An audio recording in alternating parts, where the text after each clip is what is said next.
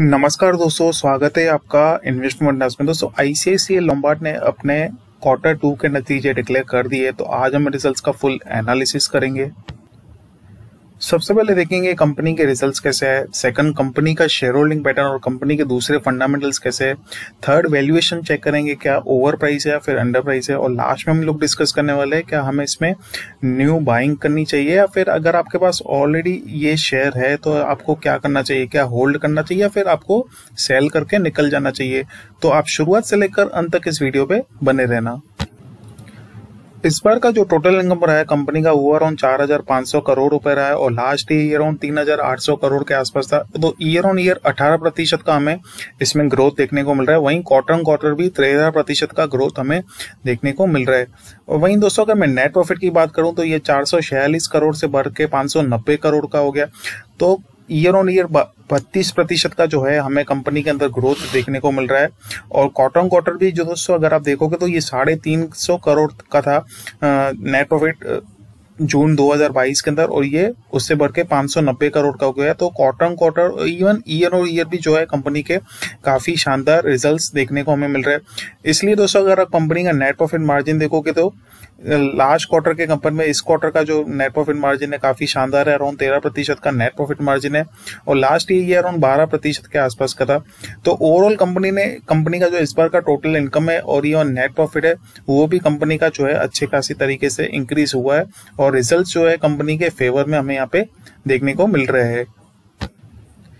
अभी अगर share holding pattern की बात करें तो यहाँ पे जो है 48 परसेंटेज का होल्डिंग है कंपनी के पास। वहीं एफ़ जो है अपनी होल्डिंग इस शेयर में डिक्रीज कर रहे तो पहले ही 28 प्रतिशत की थी, अभी ये 25 प्रतिशत के आसपास की हो गई है।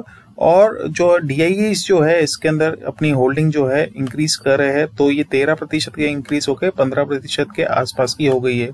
और दोस्तों, अगर मैं इसके फाइनेंशियल्स की बात करूँ यहाँ पे तो लगातार ये कंपनी जो है, अपना सेल्स लास्ट अगर आप दस सालों का सेल्स देखोगे तो लगातार यहाँ पे सेल्स इंक्रीज हो रहा है और यहाँ पे प्रो नेट प्रॉफिट भी जो है, लगातार यहाँ पे इंक्रीज होते हुए हमें देखने को मिल रहा है। सिर्फ़ मार्च दो से अगर हम बाईस की बात करें तो वहाँ पे नेट प्रॉफिट जो है कंपनी का डिक्रीज हुआ था। लेकिन अगर आप ट्रेलिंग ट्वेल्व मंथ्स का नेट प्रॉफिट देखोगे मतलब कि ये एक्सपेक्ट किया जा रहा है कि मार्च 2023 तक जो है कंपनी का नेट प्रॉफिट अराउंड 1400 करोड़ के आसपास का हो जाएगा। और इसके अलावा अगर हम दोस्तों क्वार्टर ऑन क्वार्टर की प्रॉफिट नेट प्रॉफिट की बात करें तो वो भी जो है लगातार यहाँ पे हमें इंक्रीज होते हुए देखने को मिल रहा है। और दोस्तों दूसरी चीज़ ये कि अगर हम इसका रिटर्न ऑन कैपिटल एम्प्लॉयड देखोगे तो 19 प्रतिशत का है और रिटर्न ऑन इक्विटी जो है 15 प्रतिशत का है तो एवरेज हम बोल सकते हैं कि रिटर्न ऑन कैपिटल एम्प्लॉयड है और रिटर्न ऑन इक्विटी है। और वैल्यूएशन देखे तो दोस्तों इसका 39 का पी रेशियो है और का जो बुक वैल्यू है वो 193 का है। तो दोस्तों वैल्यूएशन में अगर मैं आपको आपको अगर कंपेयर करना हो कि ये ओवर वैल्यूड है या फिर अंडर वैल्यूड है या फिर फेयरली वैल्यूड है तो वो कैसे चेक करेंगे? तो पहले तो होता है कि पीयर कंपैरिजन हम देख लेते हैं लेकिन पीयर कंपैरिजन में मोस्टली क्या है, जो यहाँ पे पीयर कंपनी से वो लाइफ इंश्योरेंस है, लेकिन यहाँ पे ये जो कंपनी का है वो जनरल इंश्योरेंस है। तो उस हिसाब से हमें इसका जो है ना दोस्तों medium price to earning ratio देखना पड़ेगा कि medium price to earning ratio कितना है। तो अगर आप लास्ट एक साल का अगर आप मीडियम प्राइस टू अर्निंग मतलब एवरेज अगर प्राइस टू अर्निंग रेशियो देखोगे तो 47.7 का है। लेकिन अभी का जो प्राइस टू अर्निंग रेशियो है वो 39.6 का है। मतलब कि ये अपने average price to earning ratio के नीचे ट्रेड कर रहा है। मतलब कि अभी ये जो है, कहीं ना कहीं काफ़ी जो शेयर प्राइस जो है, अगर अपने हाई से है, पंद्रह का इसका हाई था, वहाँ से जो है अराउंड ट्वेंटी जो है अभी गिर चुका है।